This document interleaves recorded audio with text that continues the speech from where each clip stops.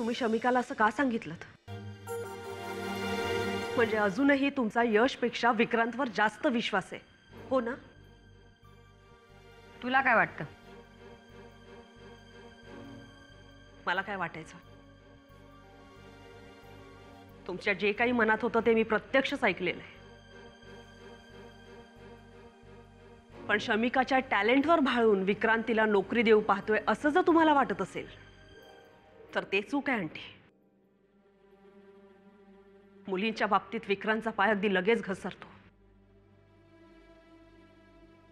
शमिका शमिका त्याच्याकडे गेली तर माझा माझा संसार वाचायची उरली सुरली आशाही संपून जाईल. चुकतेस तू तेजस. विक्रांतने शमिकाला कोणत्या हेतूने बोलवलंय हे मला माहिती नाहीये.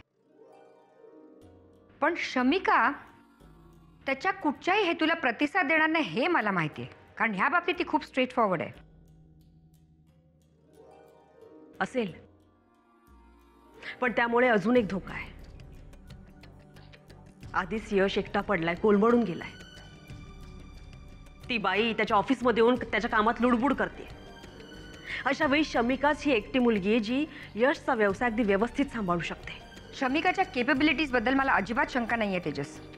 म्हणूनच तर मी तिला यशकडे नोकरी करण्यासाठी एनकरेज केलं होतं. आणि आता तुम्हीच तिला नोकरी सोडायला सांगताय. का? ममाचा सगळा बिझनेस यशच्या हातात गेलाय. म्हणून तर तुम्ही करत नाही आहात ना? ममाच्या व्यावसायिक शत्रुत्वाची किंमत तिचा वारस ह्या नात्याने यशकडून वसूल करत नाही आहात ना तुम्ही? तू ही शमिका इतकी मूर्ख आहेस तेजस. यशचा बिझनेस कोलमडावा किंवा तुझा संसार उद्ध्वस्त व्हावा म्हणून मी शमिकाला असा सल्ला दिलेला नाहीये. पण अमृताचा संसार उद्ध्वस्त होऊ नये म्हणून मी तिला तसं सांगितलं. कळलं? काय? होय तेजस. शमिका स्वतःच्याही न कळत यशमध्ये गुंतत चालली आहे यापूर्वी मी तिला सावध केलं होतं. तिला मी सांगितलं होतं की यशचं स्वतःही पेक्षा अमृतावर जास्त प्रेम आहे. पण तिला ते जमलेलं दिसत नाहीये.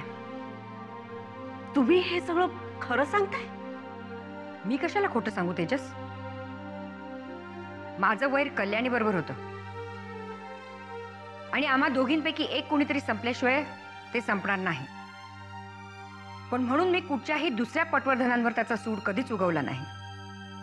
ही गोष्ट जर तुझ्या लक्षात आली नसेल तर तुझं इथे राहणं निरर्थक आहे असं मला वाटतं.